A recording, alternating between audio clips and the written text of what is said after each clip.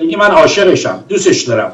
از پنج ساله بودم من ایشون اومد مشهد رفت جزام خونه من باورم نشد داداشم من برد اونجا دیدم این زن اومده تو جزامیا. از همونجا من فرح رو دوست دارم. بهش علاقمندم در طول تاریخ هم همه دیدن که چقدر فداکاری نسبت بهشون من داشتم و و و غیره. می‌خوام بگم شه بانوی عزیز فرع پهلوی تغییر کرده در همین رابطه شعارهای مردم. ایشون خودش تاریخ 1401 تازی دیگه استفاده نمی‌کنه از یک سال پیش. شاهنشاهی رو استفاده می‌کنه. دوم ای که ایشون اومده تگ چند مصاحبه که از تلویزیون من تو پخش شد. الان روی اینترنت هست می‌تونن برن گوش کنن.